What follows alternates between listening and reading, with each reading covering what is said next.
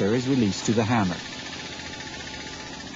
Odex drilling equipment can penetrate through all types of formations. This is possible through the use of a reamer that reams the drill hole at a diameter slightly larger than that of the casing. Some of the impact energy is transferred via the impact edge of the guide device to the casing through the bit tube at the lower end of the casing tube. This forces the casing down at the same rate as drilling proceeds. To obtain the low spindle speed that hammer drilling demands, the Diamec 260 has been fitted with a low-speed rotation unit. As soon as the casing has been placed in position, impact is switched off and the drill string is rotated a half turn in the opposite direction.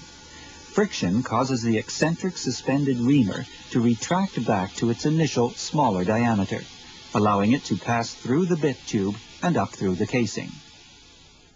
When the entire drill string has been withdrawn, the Odex assembly will be replaced with a conventional 90mm DTH bit.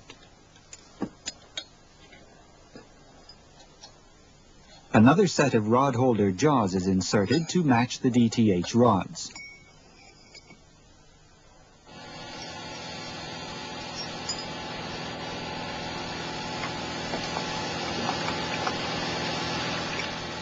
Diamec 260 really proves itself when it comes to sequences like jointing heavy DTH rods. Rod handling, too, is not only much easier, but with the Diamec's highly mechanized operation, the use of manual tools becomes unnecessary. Even with conventional DTH drilling, slow rotation must be used.